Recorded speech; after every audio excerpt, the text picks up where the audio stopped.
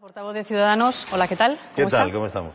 En la sesión de control, siempre la última palabra la tiene el Gobierno, pero yo le voy a dar la oportunidad de que conteste a Montoro. ¿Qué le diría? Pues es una oportunidad que agradezco porque el señor Montoro muy hábilmente ha contestado lo que ha querido. Aparentemente eh, su explicación puede resultar convincente. Oiga, estamos investigando al señor Rato, sí, sí. El problema viene cuando le aplica a usted la lupa y mira las fechas. Entonces, cuando usted examina las fechas, lo que ve es que en el año 2012 el señor Montoro nombra como directora de la agencia tributaria a la ex jefa de gabinete de Rodrigo Rato. Segundo, que esta señora bloquea cualquier información sobre las personas acogidas a la amnistía fiscal. ¿Y a qué conclusión llega usted? La conclusión es que se le, que se le eh, investiga tarde y mal. Es decir, es ahora a raíz de otras investigaciones que por fin sabemos, pues, parece que presuntamente, pues habría defraudado en las cuotas eh, 6,8 millones de euros. Pero que hay una actitud, en primer lugar, de mirar hacia otro lado, en segundo lugar, de un trato muy próximo y muy personal con Rodrigo Rato, eh, que, hombre, que además se está cogiendo esa amnistía. Eh, no es bonito, no es decoroso. Que no le cuadra a usted. Pero sobre Oiga, todo, más allá de rato, que la amnistía fiscal es muy mala porque no solo por lo que se deja de recaudar, que también, sino porque demuestra a la gente que el gobierno es fuerte con los débiles y débil con los fuertes, que, se- que- que obtiene premio quien defrauda y castigo quien cumple. Eh, hablaba de mirar para otro lado. Bueno, pues eh, justo todo lo contrario es lo que quieren hacer ustedes con la gestión de las cajas. Si no hay sorpresas, la semana que viene el Congreso va a aprobar una comisión que investigue lo que ocurrió. ¿Va a servir para algo? Aquí no reside el poder judicial, aquí reside el poder legislativo y nosotros, por lo tanto, no juzgamos. Lo que sí podemos y debemos hacer es, en ciertas ocasiones, investigar.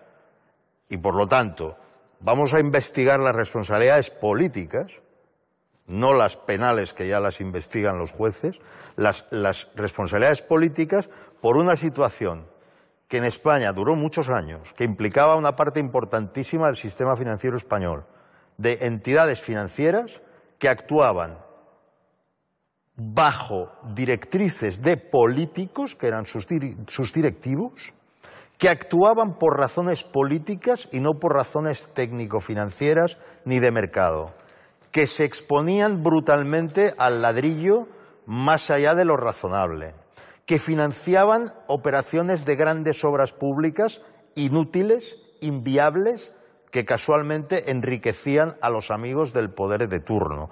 Esa mezcla de poder político y poder financiero ocasionó el quebranto que hoy conocemos. Hubo que rescatarlas y nos ha costado 60.000 millones de euros. Creo Oiga, que si eso no merece una eh, investigación política. Están en contacto con eh, Podemos para marcar una estrategia conjunta y hacer frente a PP y a PSOE.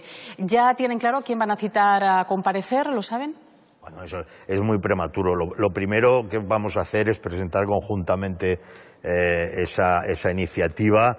Eh, déjeme que le diga que aquí se ve cómo los dos viejos partidos de- de- del bipartidismo, los que tuvieron las principales responsabilidades en, en esas cajas de ahorros, pues, en fin, han hecho todo tipo de contorsiones para intentar evitar lo que finalmente va a llegar, que es esa investigación.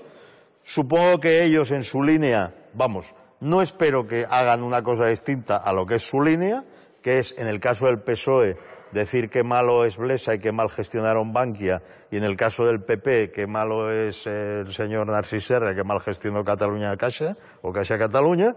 En nuestro caso queremos que se investigue ambas, y a Caixa Galicia, y a todas las cajas de ahorros que supusieron ese quebranto, que lo pagamos todos. Oiga, es que además, mire, el presidente del gobierno dijo públicamente que el rescate se recuperaría, que el importe del rescate se iba a recuperar. Y ahora sabemos que no se recupera. Los 60.000 millones salen de nuestros impuestos.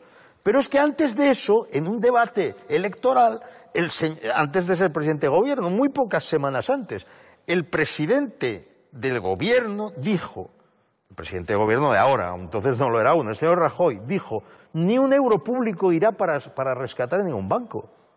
Oiga, 60.000 millones. No uno, no, 60.000 millones. Quiero preguntarle por los eh, compromisos del acuerdo de investidura con ustedes que hizo posible que Rajoy fuera presidente. Para la semana que viene ya tienen convocada una reunión con el PP para hablar de aforamientos, de quitarle los aforamientos a los parlamentarios y de limitar mandatos. ¿Es una primera toma de contacto? Es una ¿Hay un principio de acuerdo? ¿Creen que va a ser posible? Es una primera toma de contacto para, para estos dos puntos.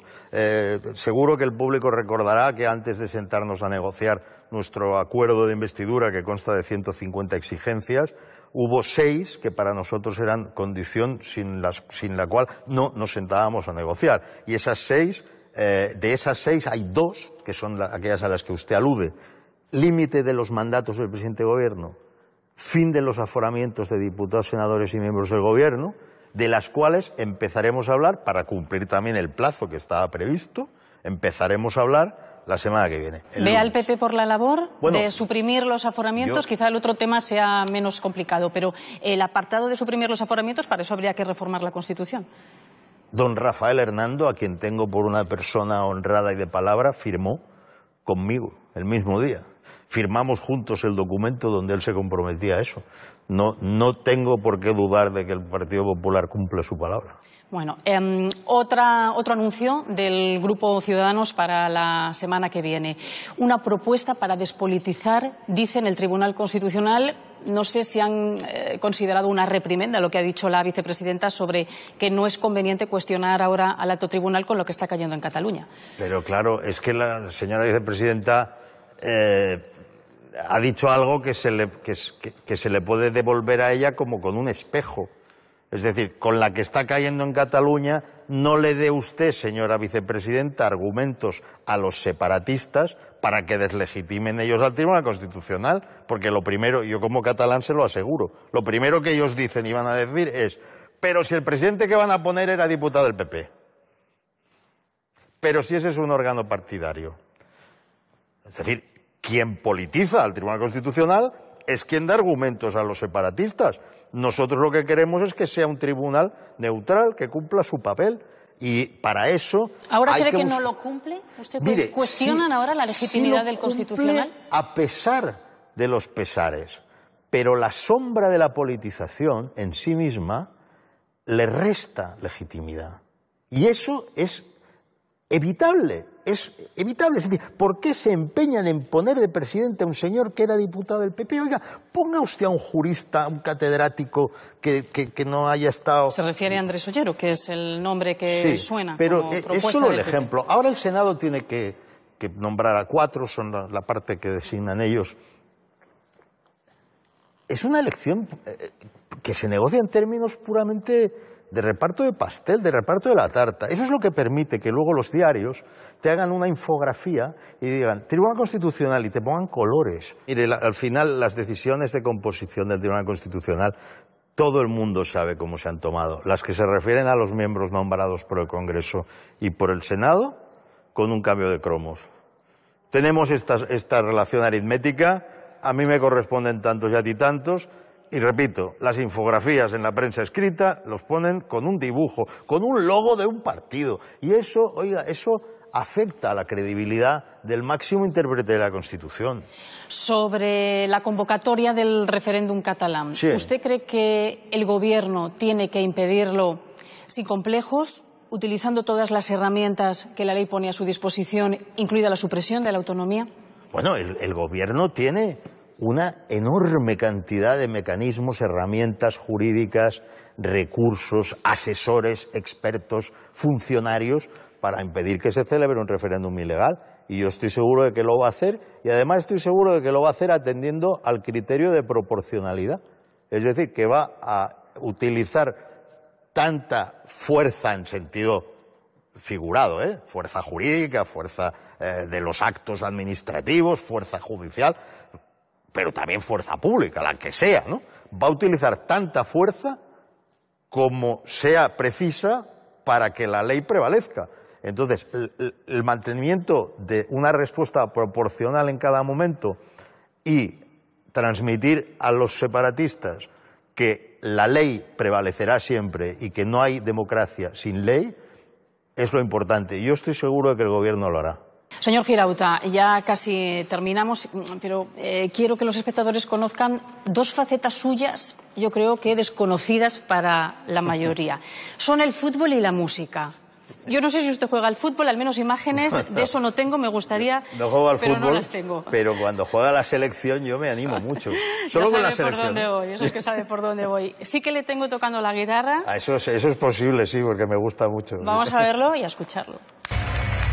Juan Carlos Girauta, portavoz del Grupo Parlamentario de Congreso. Tardó en llegar a las instituciones, pero lo hizo abriendo puertas a ciudadanos, las del Parlamento Europeo primero y año y medio después las del Congreso. Bona nit i benvingut. Escritor y analista político era un habitual de 59 segundos. Por entonces ya había militado en la joven Guardia Roja, el PSC y el Partido Popular, siempre desde posiciones combativas con el soberanismo catalán. Un territorio que quedaría en un limbo, en tierra de nadie, rota. Como portavoz de Ciudadanos ha sido una pieza clave en las negociaciones para intentar desbloquear la situación política, primero con los socialistas Queremos hacer posible que esta legislatura comience. y después con los populares, un acuerdo que no fue fácil. Nos damos a nosotros mismos y damos a la negociación 48 horas. Sapere Aude, Atrévete a saber, es su carta de presentación en Twitter, donde el verano pasado recibió amenazas de muerte. Creo que Twitter y Facebook y las redes sociales en general no pueden ser un espacio de impunidad. De su época de rockero no tenemos imágenes, pero le hemos visto bailar para animar a España y cantar para cerrar un mitin en campaña electoral. Quizá porque mi niñez sigue jugando en tu playa. O escondido tras las cañas, duerme mi primer amor y llevo tu luz y tu olor por donde quiera que vaya. Serrat no es, pero bastante bien, ¿eh? Con nota. Aquí se ha visto que yo canto mejor que bailo, primero, y segundo, le digo, le aseguro que cantar en público es mucho más difícil que hablar en público. Ya siento también no tenerlas de rockero. Bueno, eso no le voy a dar pistas, porque en su archivo de televisión las encontrarían. Uf. Pero no le voy a dar pistas, pues no, porque no, no, no, no, es el momento. Hacemos una Cuando cosa. me retire de la política. La- la- las busco y le emplazo para otra entrevista y así volvemos a hablar de cómo va la legislatura. Juan Carlos Muy un placer. Muchas gracias. Igualmente, muchas gracias.